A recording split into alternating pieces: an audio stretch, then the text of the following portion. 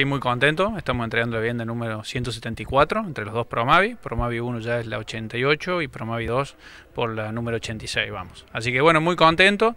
Eh, bueno, el, adjudicatario es Federico Zunino, así que acabamos de hacer la entrega de la llave. Y bueno, muy contento que podamos seguir adelante con, con todas estas obras de vivienda. Esto, esta entrega fue por licitación. Esta fue por licitación, exactamente. Así que bueno, estamos, se están haciendo, bueno, ya este último mes eh, hemos intensificado la cantidad de obra, eh, de la cantidad de casas en construcción.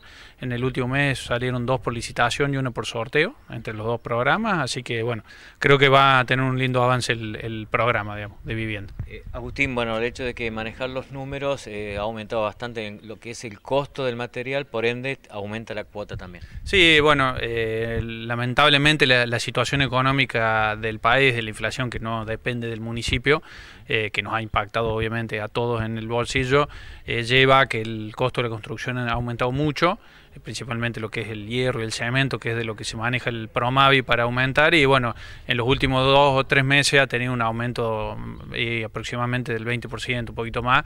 Que bueno, eh, entendemos el enojo de la gente, pero también para poder seguir siguiendo adelante con el proyecto, que todos lleguen a la, a la casa, lamentablemente hay que aumentar la cuota porque si no, esto es, eh, es imposible poder terminar con todas las casas. Entonces estaríamos perjudicando a los que no han recibido la casa.